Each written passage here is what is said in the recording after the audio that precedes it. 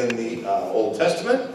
And, uh, uh, and of course, it's easy to find if you have an electronic Bible. Just keep scrolling, scrolling, scrolling till you get to that. By the way, speaking of that, those of you that have been reading the Bible on Facebook Live, thank you for that. Uh, we are, we're, we're going to make it. It's, it's tremendous. We're right on track uh, to read through the entire New Testament in the month of January. That's a pretty exciting thing for the church to do. So let somebody know that they can be a part of that by joining in with that. I'll um, remind you of a few things that are coming up as a church here uh, at the end uh, of our message. But today, we're going to continue in our Better Than Ever series. And uh, we're going through uh, all of these books of the Bible that that that are after the people of God went back from the, their land of captivity to the land of promise. And uh, that includes several books of the Bible, and uh, Leslie mentioned them in particular. She mentioned the book of Esther earlier on. So we have Ezra Nehemiah, we have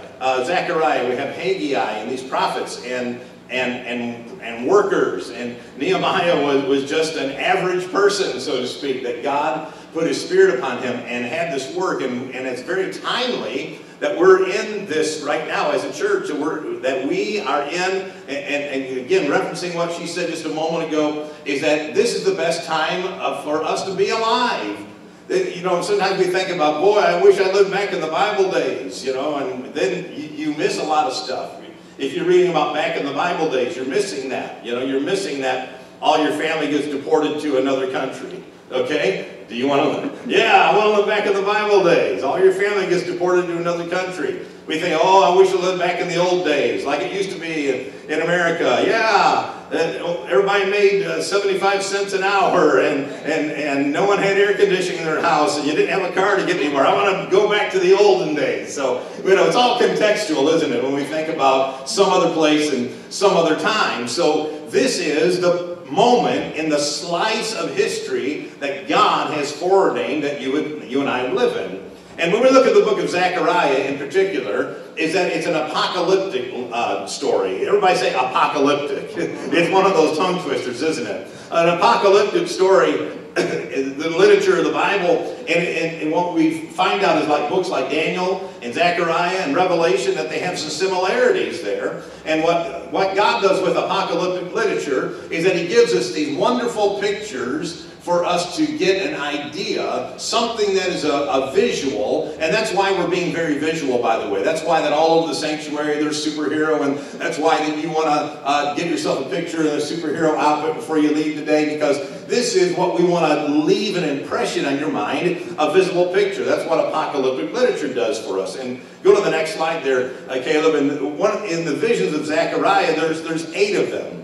There's eight visions from, the, from chapter 1 on, and uh, we have a, a, a man uh, uh, and horses and a myrtle tree. We have a man with a measuring line, uh, the cleansing of Joshua, the golden lampstand and the olive trees, the flying scroll, the woman in a basket, and four chariots. So let's go to that next slide if we can. We'll just rehearse them one more time. Is that we have these eight visions, and we see that God is in the beginning from the end of the, of the book, or rather halfway through, judgment and restoration, punishment on the nations, ensuring room for all, cleansing of sin, divine help to finish the building, cursing the ungodly, removing evil from Israel, and announcing the king to the nations. So it's right there in that sandwich in that middle that we're going to talk about ensuring room for all and the cleansing of sin that we talk about today, that we're, that we're empowered with salvation. We talk about these four words that we're going to rehearse throughout the, the year, and that is for us to be engaged and empowered and, and encouraged and equipped for us to grab a hold of what the Lord would have to say to us when we talk about something being better than ever, we all have a reference point of, of, of somewhere in this world where, uh, you know, I, I, I, envy Caleb. I envy an 85-year-old man saying he's as strong today as he was when he was a young man. I envy that. I'm not even 60 years old, and I don't feel like I'm 25. I feel like I'm 70 some days, you know. And, and so we have a reference point of, of when we were so-called at the top of our game. And so what God wants to reveal to us today, that he empowers us, and the greatest thing that God empowers us with is salvation. When we think about salvation, I'm not just talking about this, the, the removal of sin from our soul. However, that is the greatest thing that God will ever do for you. Amen? The greatest thing that God's ever done for you and I is to remove our sin. Praise God. The Bible says, Blessed is the Lord to whom the Lord has not imputed sin, which means that God, made a way through the prophets of the Old Testament for us to understand what it is that, that He does with us in salvation. And one of those promises, one of those promises is that He removes our iniquity. He removes the sin guilt from us. In Zechariah chapter 2, verse 11, it says, Many nations will join themselves to the Lord on that day and become my people. This is something that the early church missed. It's something that it took over to Acts chapter 10 for them to figure out, is that God had a plan from the beginning of time that all humanity would come to him. There are people that have theological arguments about who is destined to die in sin and who is destined to live in heaven. And here's the answer to the question is that that's all up to God. God knows everything, and you and I know about that much. Amen. And, and God had, but if you're hearing the word today, is that you can be a part of this promise. If you and I have become, to, the Bible says in another passage of Scripture, to those who have fled to Jesus for a refuge. Many nations will join themselves to the Lord on that day. That day we're going to talk about here in just a minute and become my people. This is not the only time in the Word where God had made such a promise. Over in Amos, he had prophesied that there was a, coming a time that God was going to reach out to the non-Jewish people. We would use the word Gentile, which just simply means non-Jewish. God had said to Amos it was going to happen and over in Acts chapter 15, they stood up that day and they said, wow, this must have been what Amos was talking about when he says, after this I'm going to return and I'm going to rebuild the tabernacle of David, which has fallen down, and I'm going to build it, put it back together, and restore it, put that, put that back together. Why? So that all the non-Jewish people can come, all the Gentiles I have called by my name. And then it was Joel who said, whoever calls upon the name of the Lord will be saved. And he was talking about Jewish and non-Jewish people alike. He was talking about everyone in humanity. And then it was while, then over in Acts chapter 10, while Peter, the Bible says, while Peter was still speaking, the Holy Spirit came upon those non-Italians, those non-Jewish men and, uh, that were in that room, and the Holy Spirit poured out, this is the promise that God has given us. That all that, that would call upon His name would be saved. So over in, in, in Zechariah chapter uh, 2, we, we look at uh, what's going on there. And in Zechariah 2, beginning with verse 1, he says, I raised my eyes and looked, and behold, a man with a measuring line in his hand. And so I said, Where are you going? And he said, To measure Jerusalem, to see what its width and what its length. And there was an angel who talked with me going out, and another angel was coming in to meet him, who said to him, Run, speak to this young man, saying, Jerusalem shall be inhabited as a town without walls because of the multitude of men and livestock in it. For I, says the Lord, will be a wall of fire all around her, and I will be the glory in her midst. Praise the Lord. Here's a question, is that when we look at the, the prophetic thing that God was getting ready to do then, let me just say this about apocalyptic prophecy and prophecy in general, is that when God says something, it comes to pass then and yet to come. In other words, in, in, other words, that there's a, there, there's a, if I can use this, that God gives you prophecy with interest. God gives you a prophetic fulfillment with interest. For instance, when Jesus came and stood before the synagogue and he said, the Spirit of the Lord is upon me, and all of that scripture from Isaiah chapter 60 is that at that moment, he said, this today, this scripture is fulfilled in your ears. But how many of you know today that that scripture being fulfilled in their ears that day wasn't the end, it was the beginning. And so the first time that we see a prophetic thing fulfilled either in our eyes or in the past is that that's not the end of it, it's just the beginning. That God is able. Somebody say God is able. Hallelujah. God is able. This is the, the God that we serve today. The God that we're talking about is the God of the impossible today. I want to tell you this morning, very personally speaking, is that I need God to build a fire all, all around me. I need the Holy Spirit's fire fresh in my soul. I need a fresh baptism of the Holy Spirit in my life every single day, and in particular through difficult times. I need to know He's there, amen. Hallelujah. Because things will fail, inventions will fail, jobs will fail, humans will fail. But we need to understand that we behold to the unchanging hand of God that He's a God that cannot fail. And when we look at this, this question, is that there's a man standing there. What do you got in your hand? What are you going? He goes, I'm going to measure. So here's a question for us. Do you measure up? And the question, the answer to all these questions, these are rhetorical questions today. And you know what a rhetorical question is, right? Moms and dads, it's when that your daughter or son is getting ready to go out of the house somewhere wearing something you didn't want them to wear. You would say, you would ask them, are you wearing that? You're not asking, you can see right there what they have on. You're asking a rhetorical question, which means you're not wearing that out of the house. That's an example of a rhetorical question. The question that we're asking today is, do you measure up? And the answer is no.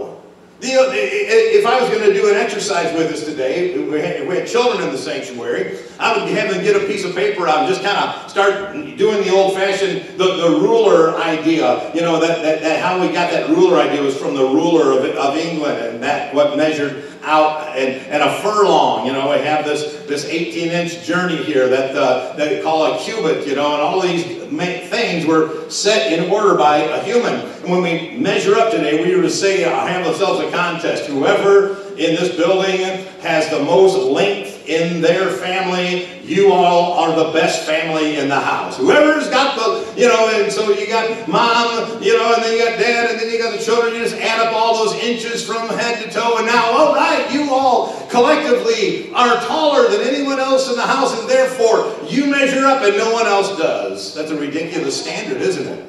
It's a silly standard for us. But when we look at the time in history, when we look at over things in time, in, in whatever era that we're living in, if you're living in the 20th century or you're living in the 21st century, there are things that we've used to look at people about whether or not they measure up and the standard that we would have.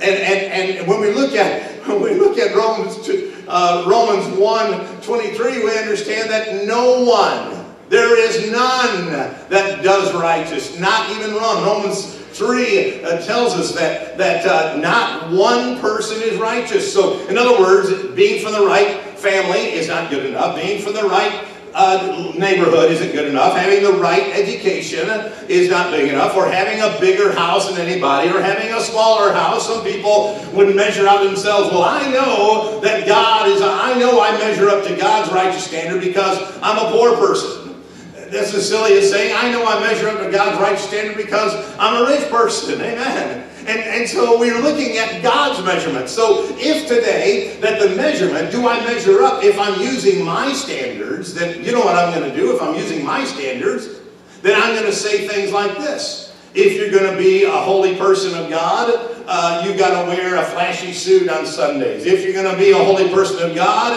you've got to have a bald spot up here. If you're going to be a holy person of God, you've got to have a big nose. You've got to have some nose hair and some, and some ear hair. If you're going to be a, oh, you follow what I'm saying. It's ridiculous. And that's what we're doing when we, when we use our own self-image to measure success or measure righteousness, is that we're using the wrong kind of measurement. We're measuring against our own selves. People will say things like this. They'll say things like this. Well, I never killed anybody. Well, how do you know that? I mean, how do you know for sure that your actions have never led to someone's death in any way, shape, or form? You see, the, our measurement is too, is too small because God's standard is absolute 100% perfection. And that's why that he is prophesying here to tell this angel, I want you to run out here and I want you to measure this thing out because I'm not looking for a neighborhood. I'm looking for a place where I'm going to show myself. Do you see what in that text of scripture? He says that Jerusalem is going to be a city without walls. Now this is an unconscionable thought that, that they would build a city or rebuild a city, and they would not put a wall up to keep all the people out that they didn't want in, and to keep all the people in they didn't want out. And God says, I've got something better for you today. I've got you can't build a wall high enough to keep me out, and you can't build a wall high enough to keep me in. I'm going to provide for you something better than that. I'm going to expand myself beyond the walls. Hallelujah. And we see Jesus who led us in this example. The Bible says in the book of Hebrews, let us go to him. Where is he? Where we're following Jesus now. Let us go to him. Where? Outside the camp. he said, For in this world, I want you to hear this. In this world, we have no continuing city. So there is no, there is no place where you and I can find to live on this earth that's going to give us spiritual satisfaction. Now, when I was going to Bible college back in North Carolina, there was a big television ministry not too far away from us. And uh, so they tried to, they, people would work, the, they, they loved having Bible college students working there, and so we had a job there. And, uh, uh, and, and things would, people would come there all the time, and they would say, oh, this is just like heaven on earth. You know, at Fort Mill, South Carolina. Now, if you say Chester, then that is like heaven and earth because that produced Faith Walden. That Faith McFalls who became Walden. Now that is like heaven on earth. people would visit there and they would say, this is just like heaven and earth. And I, and I heard people say, because I was working at a, at a night clerk in the, in the hotel desk there, and they would say, I believe when Jesus comes back, he's going to come back here. Well, they're, they're kind of sort of correct because when Jesus is coming back, all the earth is going to see him, all the earth, but that's not what they were indicating. We had an individual back in the early days of the Church of God that believed that Jesus was coming back on a Harley Davidson. Amen. How about that, Brad? Amen. Coming back on a motorcycle. And, uh, and, and so they, they had a little section of their uh, of Cleveland, Tennessee that they said this is where he's coming back, and they built a statue for him to, there's some uh, verse in Nahum or something like that about, you know, he, he rides uh, or something like that. And so that's what they thought. He's coming back on a motorcycle, and that motorcycle is going to land right there on this. Now, how do people get so far afield? I'm using ridiculous ideas today to convey to you is that it's the same silliness for us to think that somehow by us in our own power, and us in our own might, and us in our own strength, that somehow that's going to evoke the measurement of God to us. God says, I don't need a wall. Hallelujah. My fire is all around you. And Jerusalem is going to be so overwhelmed with people because I'm going to do a great work. And this is who we seek after. This is who we desire. What did David say? He said, You, O Lord. This is what David, the, the warrior, said. You, O Lord, are a shield about me, the glory and the lifter up of my head. This is David's perspective. David the king, David who had all, any of the women he wanted to have, David who had all the servants, David who had all of the all of these things. He said, "You, O Lord, are a shield about me, the glory and the lifter up of my head." You know, playing hide and seek as a child or, or, tag is that there would be a certain place that you would run to, and when you run to that, if it was this microphone stand, you say, "I'm at home base," or "I'm at, I'm at goal," whatever ever how you played it in your neighborhood, we'd say, well, I'm at goal or I'm at home base. And when you got there, then no one could get to you. And this is, this is the idea that we have. We think that there's some physical location or some some earthly indication that we're beyond the point of, of, of immutability or beyond the, point, the place of us ever being uh, affected by anything in this world, but our foundation is in the Lord. And the Bible tells us that we, the Bible even says, it's stronger language than what I'm saying today, it says that we're cursed when we make the arm of flesh our Savior. That's, I don't want to be cursed. I want to be cursed. Raise your hand and say hallelujah. You want to be cursed. Amen. No, no one wants to be cursed. We want to be blessed. And so when we when we do that, then God wants to give us the indication is that we are with Him. We're safe in Him. Praise God. No one measures up on our own. Number question, number two question is, do you have enough resources? In other, in other words, do you have enough money? This is a whole lot similar to the one uh, that I just said to you just a moment ago. But uh, in, in, in Zechariah chapter 2, beginning with verse 6, he says, Up, flee from the land of the north, says the Lord, for I spread you abroad like the four winds of heaven, says the Lord. Up, Zion, escape, you who dwell in the daughter of Babylon. I'm going to come back and explain why he's saying that in just a moment. For thus says the Lord of hosts, he sent me after, listen, listen. Thus says the Lord of hosts, verse, verse 8. He sent me after glory to the nations which you plundered. He who touches you touches the apple of his eye, for surely I will shake my hand against them, and they shall become spoil for their servants. Then you will know that the Lord of hosts has sent me. Praise the Lord. Hallelujah. Do you have enough resources. In, in verse 6, here's what's God is having to ask this rhetorical question, and the answer is for them to get out of the land of the comfortable captivity. God says, next slide, to leave the land of the comfortable captivity. Because what, what God has had to say, now listen, we already established something, that they were living in a, in a foreign country. And uh, let's go to that map and then uh, here here's where they were at. Is that uh, uh, I had the pleasure of visiting the Middle East back in 1990, 91 for Desert Storm. Amen. And I went to Ur, and Ur is way out here. And Ur is just a mound of dirt. That's what God called Abraham, Abram out of. And so when they when they came and they took them captivity, over here to my left is that fire over there is Jerusalem. And the first one that came and plundered them carried them off to Assyria. And look how far up that is. That's, a, that's about uh, 900 miles. And then when, when, uh, when the Assyrian Empire fell uh, to, the, to the, the Persians, then the Persians did a swath that is in a big sweep, all the way from Assyria, all the way down to end up in Susa. That's where Nehemiah was living. And so for 70 years, God said they were going to be in captivity. That included the time that they were going to be in, uh, in, in, Assyria for that short spell. And then the Babylonians uh, took them over and carried them, uh, carried them off. And then the Persians overwhelmed the Babylonians. And, and so all of that big swath of land that people are still fighting over today. Amen that people are still fighting over today because there's lots of oil there. And, and there's 1,300 miles from Susa to Jerusalem. 1,300 miles. That's a long way to travel by car. How about, how about by foot?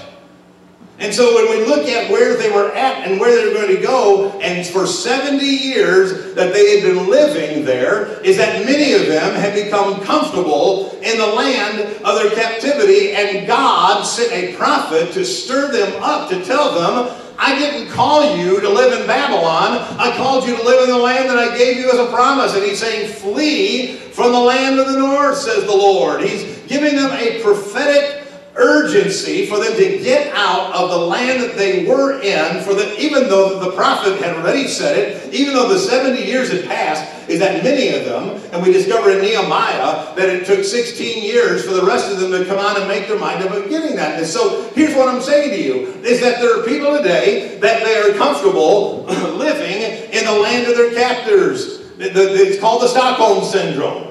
Is that what happened to Patricia Hearst back, you remember Patty Hearst back in the 1970s? Is that she got she got kidnapped and she ended up, you know, conforming to the, the, the ways of, of, the, of her captors. And then Elizabeth Smart was also very compassionate about the ones that kidnapped her. And so it was for God's people, is that God had let them be carried away, not for them to live there, not for them to get happy there, not for them to get very comfortable there, but for them to remember that they were going to be carried away again and they would go back to the land that he had fulfilled his promise. And I have to tell you today is that the reality for most Americans is that we're not really excited about Jesus coming back. We're not really excited about the future because if we were, then we'd be, we would be more evangelistic. We would, you know, Noah built the ark for all those years, and God fulfilled what he said he was going to do. And when God carried the people into, into captivity, he said, I'm going to fulfill what I said I'm going to do. And when Jesus taught the disciples, he said, every stone inside this building is going to be laid flat. And don't you know it? What Jesus said actually happened. So we have the reliability that God has given us two things. Number one, He's given us the promise of His coming. And number two, He's given us the forewarning of us not to get too comfortable on this world. That's what we used to say in the old redneck hymn book. We would say, I can't feel at home in this world anymore. Amen. I can't feel at home in this world anymore. And I'm not talking about having a nice place to live and a nice car to drive because I tell you what, driving a nice car is better than driving a jalopy. I'll just guarantee you that. But what, what it is is that it's not about owning things. It's about things owning us. Is that if we lost it all today, I, I, do we still have Jesus? If we lost it all, if we ended up going to jail for the cause of Christ, would we just forfeit our salvation? Would we, would we be willing? Because I tell you, and I've told you, and I'll continue to tell you, is that America, church of the living God that lives in America, we are foolish and arrogant to think that we're going to avoid persecution before, the, before everything wraps up. We're foolish and arrogant to think, well, you know, if we'll do this and we'll do that and we'll make sure this is in place and all these kind of things, I'm telling you that there's not a constitution in the world strong enough to stop the purposes of God. Amen. And so it's not about it's not about the world. God says, I'm going to deal with the world. God's challenge from Genesis to Revelation. God's challenge, if God has a challenge, is dealing with his own people. Amen. So that we would be mindful of the things that, that are temporary. So God is telling us to leave the land of comfortable captivity because at the end of the day, no matter how comfortable that you could be in a situation that, listen, you can live in a really, really super nice house.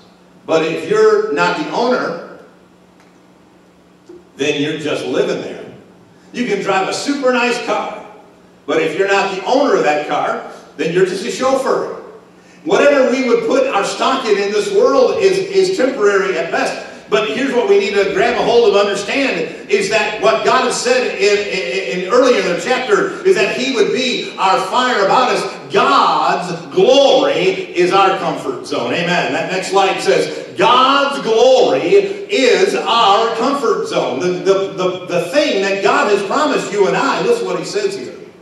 This does not just apply to Israel. It applies to spiritual Israel.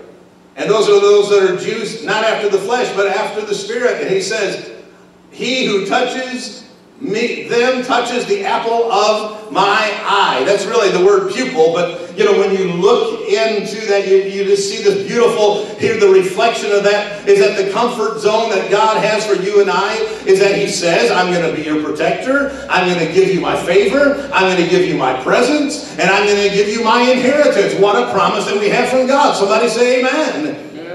I mean, do, do we really think that God is going to somehow cheat us out of the best?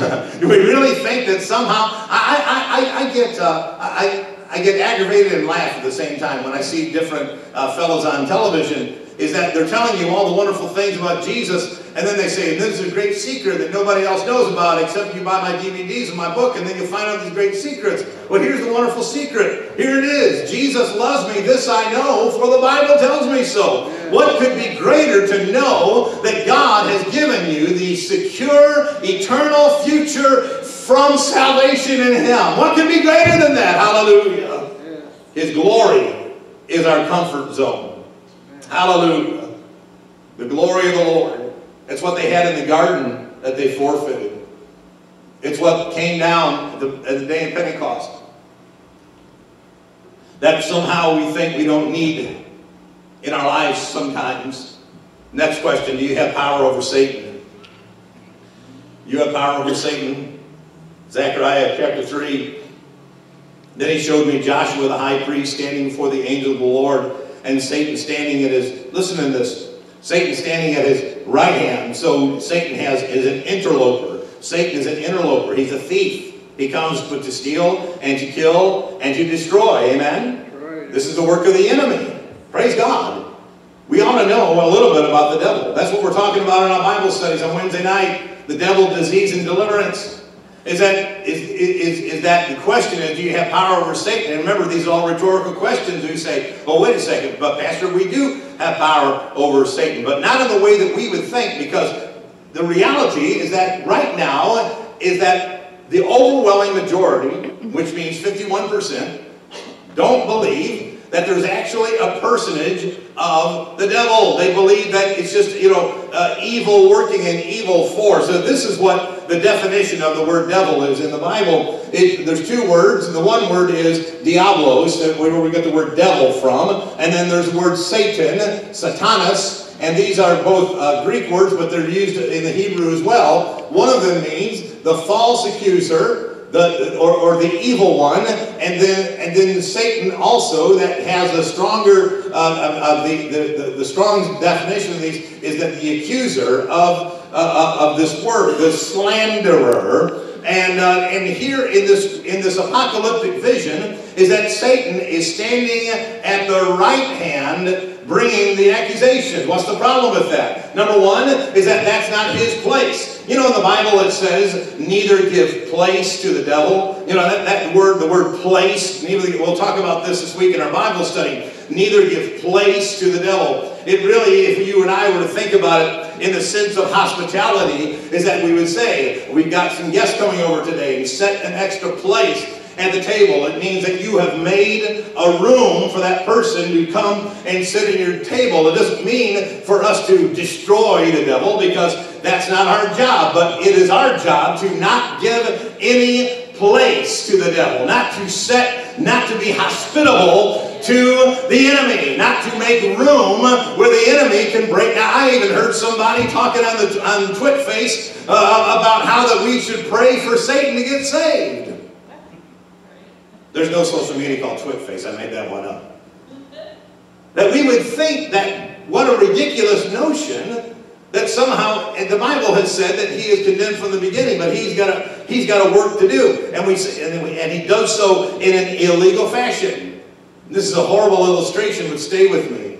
Is that in the story of Robin Hood, we have Prince John uh, who has went away, and then we have the sheriff of Nottingham who has set himself up uh, as the one in charge. And what Robin Hood does is go ahead and tries to displace everything the sheriff does, waiting for the prince to come back. The reason why that I say it's a poor illustration is because we don't serve an absentee God. He has given us the church, hallelujah, on the earth with the power of the Holy Spirit. But the earth does not belong to Satan. It never has, and it never will be. Never, not and never, never one time has God ever turned the keys over to the enemy of our soul and say, you can have the earth. Now, he is working in an illegal fashion. He is working. He's already been deposed. He is waiting for his doom. And while he's doing that, he continues to do his horrible work. Jesus faced the devil. Hallelujah. And because he faced the devil, there's a picture of that we, we think uh, uh, the devil doesn't really look like this, but this is an artist rendition of the temptation that took place in the wilderness. And notice that Jesus is pointing in the picture here, he is pointing the finger at the devil. Hallelujah. Glory to God. He, you know why, why he's doing it is because he's preaching. He's letting Satan know what the Word of God has to say. And you know what the Word of God has to say about these things. I don't want to go through these in particular today, but that when Jesus fought the devil, that Satan uh, uh, heard from him the Word of God, and it's in Matthew and Mark, and it's in Luke, and they have this account. And, and when this is going on, then we understand that the Word of God has the first place in the situation. Thus saith the Lord. Here's what the Lord says. Here's what the Word says. Praise God. That's why the question is, do we have power of the devil? And the answer is no, but the Word of God has power over the enemy of our soul. Hallelujah. Hallelujah. Hallelujah. Hallelujah. It is not for us to ignore that he exists. That doesn't make you know, speak of the devil, he shall appear is a made up thing. It's not in the Bible. And I'm not going on a witch hunt. You don't have to go on a witch hunt. This illegal operation goes on all around us. It's called the world. The world. The system of the world. And when Jesus overcame the devil by the power of, of the Spirit, the Bible says in, in the book of Mark, chapter 1, it says that when he was tempted, that he faced it and he overcame it, and the angels came and they ministered to him. And so here's, here's what I want to say to you, flock, this morning, is that no matter what it is that you and I are facing, as, as, as our sister prayed for Pastor Proctor and Faith today, is that whatever you and I are facing, the God that we serve is more than enough. Amen? The God that we serve is more than enough. Glory to God. And in this vision of the high priest is that Joshua was actually the high priest over in Zechariah chapter 3. And then we see Satan standing there and he's accusing him. And he says, And the Lord said to Satan, The Lord rebuke you, Satan. Hallelujah. Glory to God forevermore. You and I don't have to read Brother Shiny Shoes' book. We don't have to buy the DVD series. All we have to do is find our refuge in the Lord our God, and He fights our battles for us. He will push back the hand of the devil. He will push back the lies of the enemy. And He said, This the Lord has chosen Jerusalem. The Lord rebuke you. Is this not a brand plucked from the fire. Now, in this picture that we see, let's skip the next slide. Jesus is my superhero. Let's go to the next one. Is that, is that we have the, the high priest clothing. Now remember, Joshua had been the high priest in captivity. And we talked about this a few weeks ago. He had never had the opportunity, he had never had the opportunity to do this priestly work. They, they had just now got back. They hadn't rebuilt the temple. They hadn't constructed. They, they weren't aware because they were fully non-functional as the Jewish people. And so this wonderful outfit that he was given, the gold plate that says holy to the Lord, the turban on his head, the tunic, the breastplate, all these various things that have deep meaning that uh, Leslie and I wish we could go into great detail for you today, is that th there's rich and deep meaning in this. But here's what I want you to understand today, is that you are and I are not the high priest anymore. Glory to God. There's no high priest that is among men anymore because that job has been taken by Jesus, our everlasting high priest. And when we look at Joshua in Zechariah chapter 3, I mean, it doesn't take a genius to figure out that this is an indication of what was coming very soon in the revelation of Jesus Christ. Now, the next slide is that this is what he would hope to look for, but the next slide says, but this is what actually he was looking like. He was clothed in filthy garments and when we look at the, at the stark contrast of that, when we look at the stark contrast of that, you know, there's a, a, a tradition in traditional black churches that they have a whiteout Sunday. And uh, I know that sounds kind of goofy if you're not familiar with that. Um, my, my friend Anthony Pelt, today his church in Florida is Whiteout Sunday. And some of the white guys interacting with him said, what in the world is Whiteout Sunday? Like, don't let the white people in your church this Sunday? No, good grief. No, it means that we're all going to be dressed in white that day so that we reflect today as the people of God, as a people holy and sanctified and set apart for the Lord. Now today, as we were supposed to be dressing up, there, there would be something that I, that I discovered when I was in the military, is that when people had their uniforms on, they got their boots polished, they've got all their spit and shine going on, is that they don't want anybody to mess up their uniform. But that uniform is called a uniform for battle. It's not a uniform for looking good. If I was wearing all white today, I would be protected. I would, I would be worried about getting a stain on it. Something that would, I don't know about you. You ever wear a white shirt and eat spaghetti? I mean, it just, spaghetti sauce loves white shirts. It's just, it's just going there, you know. Right. When we look at the contrast of that wonderful high priest, we can bump back to that earlier screen for just a moment, uh, Caleb is that we look at the screen uh, uh, uh, of the shot of this beautiful outfit that has all this rich and meaningful language enclosed in it. And here's what I'm saying, is that not one of you, when you got saved, ever said, oh, now that I'm saved, I'm looking forward to spiritual warfare. When I, now that I'm saved, I'm looking forward to the devil attacking me. Now that I'm saved, I'm really looking forward. Preachers don't say. Every preacher, when we got called to preach, here's what we envision. We envision preaching, People getting saved, people coming to Christ, people joining the church, people raising the children, the church growing.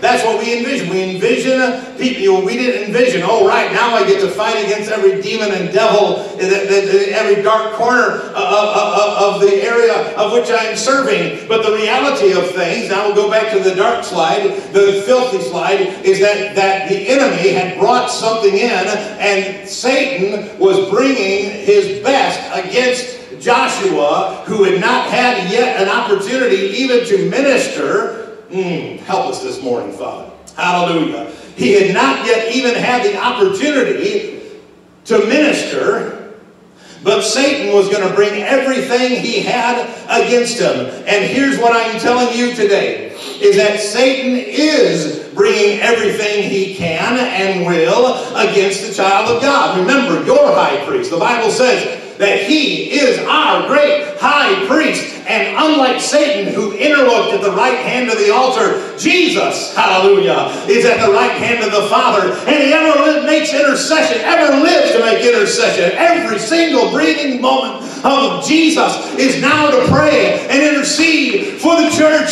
so that the filth can be removed from us so that everything that we go against, everything the enemy, every target, every, every evil thought, every evil design come against. Don't be surprised, child of God. Don't be surprised. The Bible, Peter said, don't be surprised at the trial that you're going through. So don't be surprised, child of God. Matter of fact, we ought to rejoice. We should rejoice that we're going through difficult times because, in other words, if the enemy could have destroyed you, Nick and I were talking about this for church, is that we've heard, you know, all his life and all my life that China is going to invade and take over the world because they got a third of the planet. And I just want to say, if China could have done it, they already would have. They got, they got a third of all the people just you know, I remember hearing that as a child. China's going to attack, and China, you know, 40, 50 years later, uh, and, and who knows, they might, I don't know. But here, we live in perpetual fear of what might happen. And, and, that just does not apply to nuclear holocaust. It applies to walking out the doors this day and going back to your house. Is that people live in perpetual fear. And, and unfortunately, I'm talking about a lot of believers. We live in perpetual fear of what the enemy might do. We live in perpetual fear of what the enemy might say. We live in perpetual fear of what the enemy, how things might not work out. But I tell you today, on the authority of God's word, is that Jesus has an angel and Jesus has a message for us. And he comes to us and he says, Get that filthy mess off of my servant and put clean clothes on. Put a turban on his head because he's chosen. He's pulled like a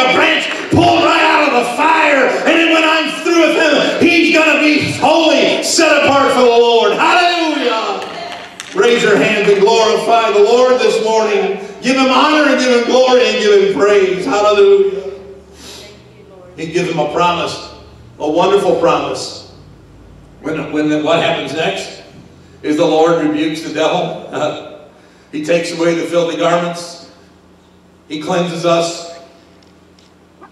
Jesus, our wonderful example, when you got baptized in water, it was because you needed to, I needed to.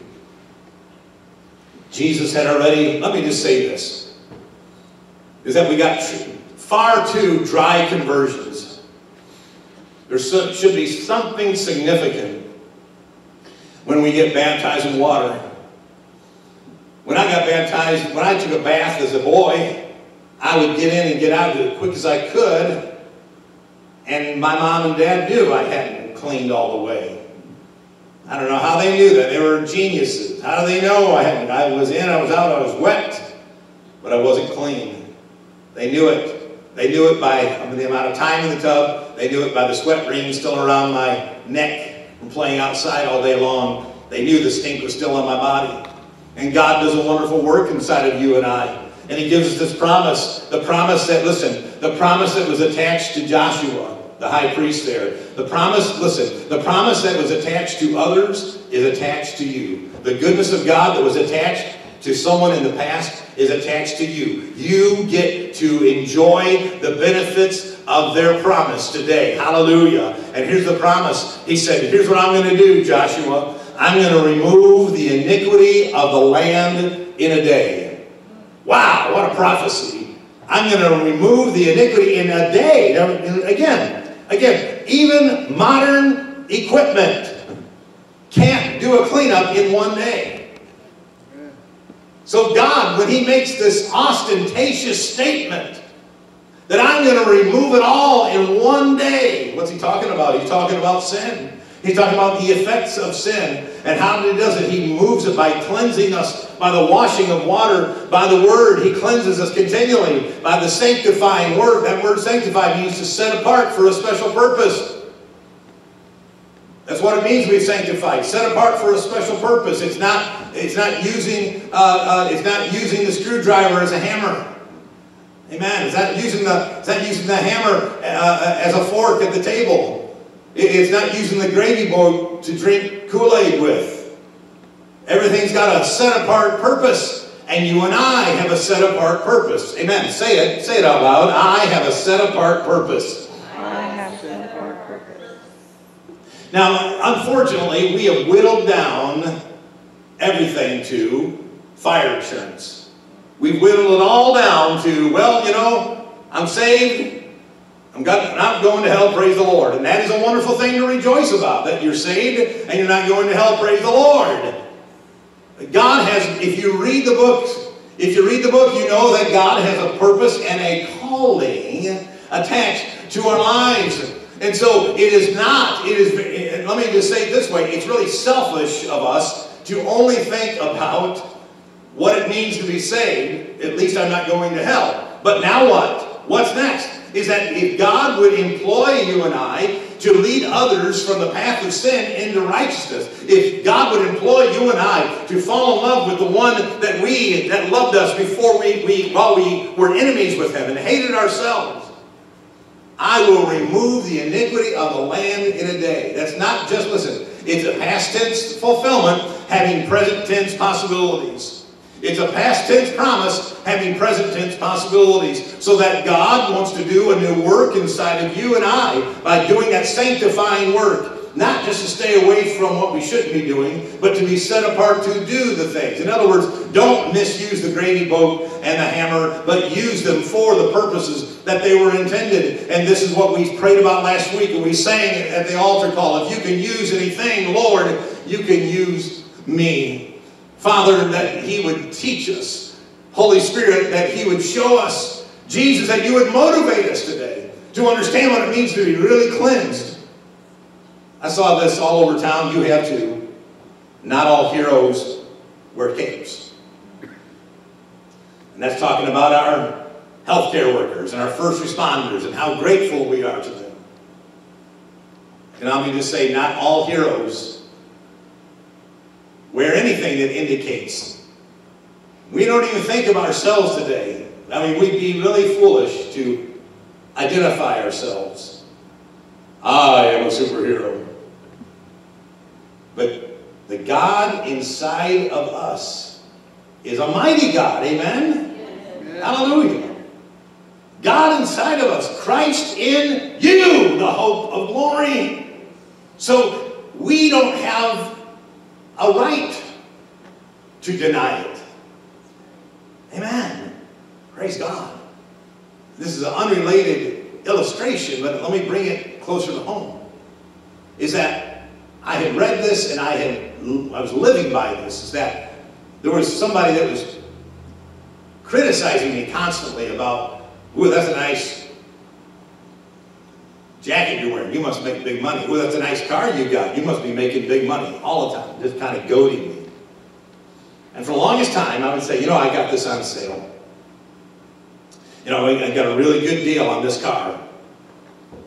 And then I was reading this book about being blessed, and I read about this guy who had the same experience with me, and the Lord said to him in the book, What are you doing? I blessed you with that. And like, yeah, that's right. So I'm like apologizing to this guy about the blessings of the Lord. And here's what I want to bring that home to you to, for us to say is that is that when God has brought us out of a horrible pit, how many of you know that that illustration there in Zechariah, he was a high priest clothed in all the filth, and we can use the word filth in every possible application you can have. How many of you know that when God brings you out, you got to tell somebody? Hallelujah. It's not self-righteousness to tell your story. Amen. It's not self-righteousness to say, I'm so glad that I'm not the big jerk I used to be. I'm so glad I'm not the womanizer I was. I'm so glad that blah, blah, blah, blah, blah, blah, blah, that God has pulled you out of a horrible pit and established you going and put a song in your mouth. Somebody needs to hear your voice. Amen. To hear the goodness of God that would resonate. And that makes us superheroes not because of ourselves, but because of Him. Hallelujah. Oh, hallelujah. Thank you, Lord.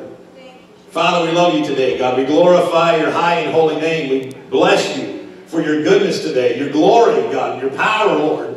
And God, today, Lord, I pray that, Lord Jesus, today in our children's lesson, God, the, the statement is, I can be saved. So, God, I'm praying for anyone today, Lord, that perhaps is someone that is covered in sin, obvious sin, and hidden sin. They're covered in it, God, covered in the filth of this world, and they think that God doesn't love them or they're not good enough. And all of the rhetorical statements and questions, God, that we ask today, God, are all real, is that without you, we have nothing, but God, through you, we have everything. We have your great promise, your, your presence, your power, your glory, your inheritance, God, all that you have provided through Jesus, God, and that it goes back, Lord, 2,500 years, Lord, that promise, Lord, that we're talking about today, that is still alive and real, God. And I pray that anyone, Lord, that's under the sound of my voice that has not made Jesus Lord of their life, they would just say, I turn away from all that garbage and junk today, and I surrender my life to Christ in a fresh and living way. Hallelujah. In Jesus' name, that's all you have to do. That's all you have to do. You make that statement, and then you follow the Lord in your life, and He will give you the encouragement and the strength to do those things. Hallelujah. If you're watching online today, as we get ready to finish up, I just want to make you aware uh, of, of, a few things that are going on at our church. Number one is that you want to worship God in giving today. You can do so online. Uh, if, if, uh, if we're on Switcher, there will be a screen at the, at the close